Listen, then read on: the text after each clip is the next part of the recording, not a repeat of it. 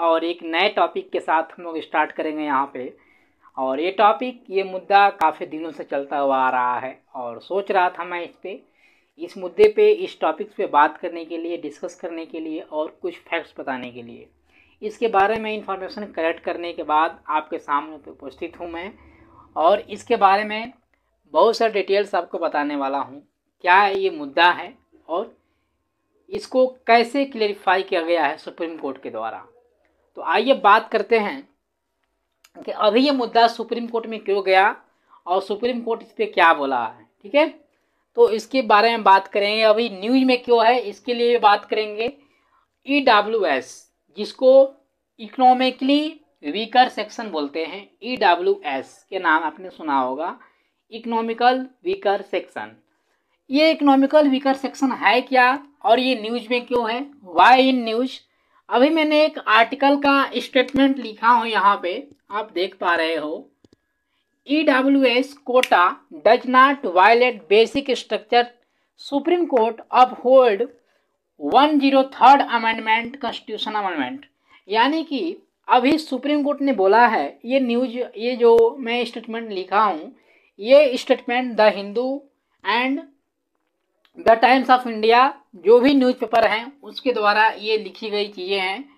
तो एस का जो कोटा था, आपको पता होगा कि हमारे देश में, भारत में जब संविधान बना, जब कॉन्स्टिट्यूशन बना तो कॉन्स्टिट्यूशन बनाने में के समय डॉक्टर बी आर अंबेडकर ने बहुत बड़ा रोल प्ले किया था और उस समय उन्होंने कुछ रिजर्वेशन की बात की थी। हमारे नीचे के जो पीढ़ी हैं, यानी कि हम जिसको बोल सकते हैं कि सोसाइटी लेवल पे जिनको वीकर माना गया, उनको और जो एजुकेशनल लेवल पर जिनको वीक माना गया, उनको कुछ रिजर्वेशन देने की बात की जाए, की गई थी और रिजर्वेशन दिया भी गया। लेकिन अकॉर्डिंग टू कॉन्स्टिट्यूशन शुरू से अगर बात करें तो शुरू से हमारे संविधान में कहीं भी ये नहीं लिखा गया है या कहीं भी डिफाइन नहीं किया गया था कि इकोनॉमिक के बेसिस पर ही हमको रिजर्वेशन देना चाहिए। लेकिन हम लोगों ने एजुकेशन के बेस पे और सोशल डिस्क्रिमिनेशन के बेसिस पे सोशल के बेसिस पे हम लोगों ने रिजर्वेशन दिया था कि जो लोग सोशली बैकवर्ड हो गए हैं और जो लोग एजुकेशनली बैकवर्ड हो गए हैं, शिक्षा के रूप में बैकवर्ड हो गए हैं, जिनको शिक्षा नहीं मिल पा रही है, क्योंकि हम लोग को पता है कि आर्टिकल इक्कीस राइट टू लाइफ के बारे में बात करता है, ठीक है? आर्टिकल सोलह इक्वलिटी के बारे में बात करता है। कि हम सभी को इक्वल दर्जा देनी चाहिए, समानता का अधिकार देना चाहिए, सभी को सम्मान, शिक्षा देनी चाहिए। और जेंडर के बेसिस पे आर्टिकल फिफ्टीन बोलता है क्या? कि जेंडर के बेसिस पे या किसी भी बेसिस पे सेक्स के रिलेशन के बेसिस पे हम लोग डिस्क्रिमिनेशन नहीं करेंगे, भेदभाव नहीं करेंगे। लेकिन तो इसी के इसी के तहत हम लोगों ने फिर क्या किया? इसी के तहत चलते हुए हम लोगों ने वीकर सेक्शन के लिए भी रिजर्वेशन दिया रिजर्वेशन कोटा दिया और एजुकेशनल बेसिस पे भी रिजर्वेशन कोटा दिया। लेकिन अभी फ़िलहाल ये मुद्दा फिर गर्म क्यों हो गया? यानी कि फिर ये हॉट न्यूज़ क्यों बन गया? बिकॉज़ कि ये जब चीज़ें आगे चलती गई तो इस पर सवाल भी उठते गए कि हमको अब उस चीज़ को चेंज करना चाहिए, क्योंकि आने वाले समय अब जनरेशन चेंजेस होती गई हैं। और अब एक हम देख रहे हैं मुद्दा एक और कि इकोनॉमिक के बेसिस पर भी जो लोग पुअर हैं, जो लोग गरीब हैं उनको भी कहीं ना कहीं इक्वल दर्जा देने की बात की गई थी या की जा रही है। तो उसके बेसिस पे जब बात चलने लगी तो हमारे 2019 में 2019 में एक अमेंडमेंट किया गया। अमेंडमेंट के मतलब कि संशोधन किया गया। हमारे कॉन्स्टिट्यूशन जब भी ये चीज़ें होती हैं तो कुछ बदलाव किया जाता है, इसीलिए हमको कॉन्स्टिट्यूशन में अमेंडमेंट करने की ज़रूरत पड़ जाती है। तो अमेंडमेंट किया गया, बदलाव किया गया वन ज़ीरो थर्ड अमेंडमेंट था ये, एक सौ तीनवा अमेंडमेंट था 2019 में किया गया 2019 में, ठीक है? और इस 2019 में जो अमेंडमेंट किया गया, जो कि आपको बताया हूँ मैं कि यहाँ पे कोई भी इकोनॉमिक बेसिस पर रिजर्वेशन नहीं था तो अमेंडमेंट करके 2019 में हमारी गवर्नमेंट ने क्या की? प्रेजेंट गवर्नमेंट ने 10 परसेंट का आरक्षण देने की बात की थी। 10 परसेंट का आरक्षण रिजर्वेशन आपको 10 परसेंट का रिजर्वेशन जनरल कैटेगरी के लिए।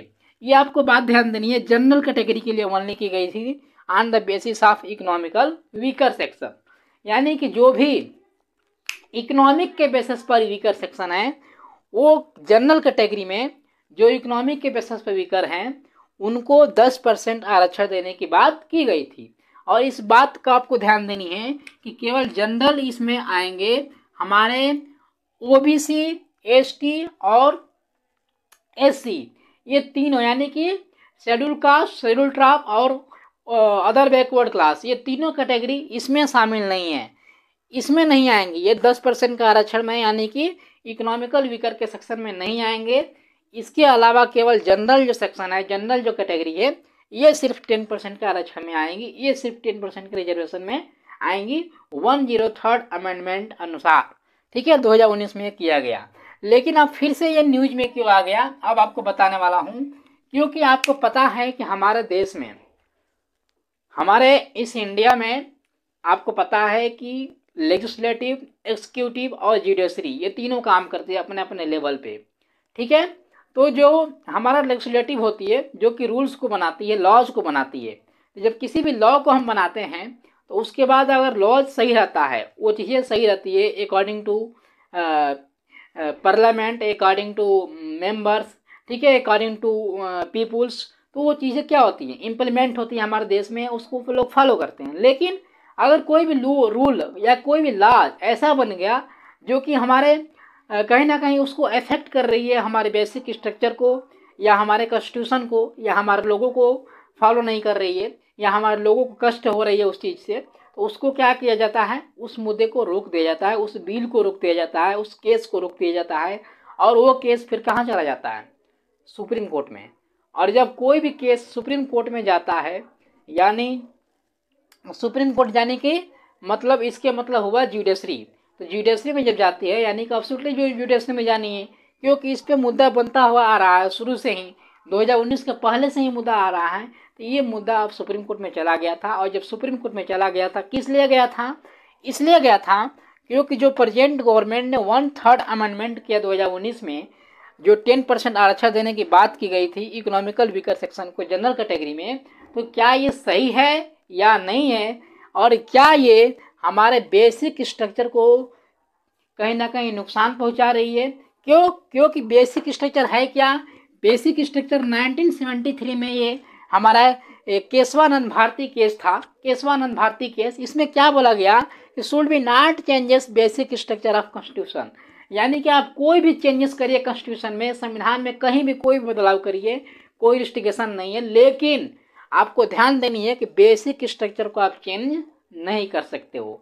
ये बड़ी बात कही गई है कि बेसिक स्ट्रक्चर को आप चेंज नहीं कर सकते हो। बाकी कोई भी आप अमेंडमेंट कर कर सकते हो। तो यही बोला गया है, सुप्रीम कोर्ट में ये एक्शन इसीलिए लिया गया कि सुप्रीम कोर्ट ने ये बोला कि अभी के फ़िलहाल, अभी आज की न्यूज़ में आपको बता रहा हूँ सुप्रीम कोर्ट में जब केस चल रही थी कि आपकी बेसिक स्ट्रक्चर को मतलब कि अफेक्ट कर रहा है कि नहीं कर रहा है, सुप्रीम कोर्ट बताएगी। तो सुप्रीम कोर्ट ने बोला अभी के फ़िलहाल आज के न्यूज़ में कि ये बेसिक स्ट्रक्चर को कहीं ना कहीं इफ़ेक्ट नहीं कर रही है। और जब बेसिक स्ट्रक्चर को इफ़ेक्ट नहीं कर रही है तो ये टेन परसेंट आरक्षण जो दिया गया टेन परसेंट रिजर्वेशन जो दिया गया है जनरल कैटेगरी को इकोनॉमिकल वीकर सेक्शन को तो ये कंटिन्यू रहने वाला है। ये जारी रहने वाला है। ये बताया गया हमारे सुप्रीम कोर्ट के द्वारा। सुप्रीम कोर्ट बोला है कि ये वायलेट नहीं कर रहा है बेसिक स्ट्रक्चर को तो ये अब अब होल्ड रहेगा। यानी कि कंटिन्यू रहेगा वन थर्ड अमांडमेंट कॉन्स्टिट्यूशन का जो कि हमारे वीकर सेक्शन के लिए बात करता है इकोनॉमिकली ठीक है?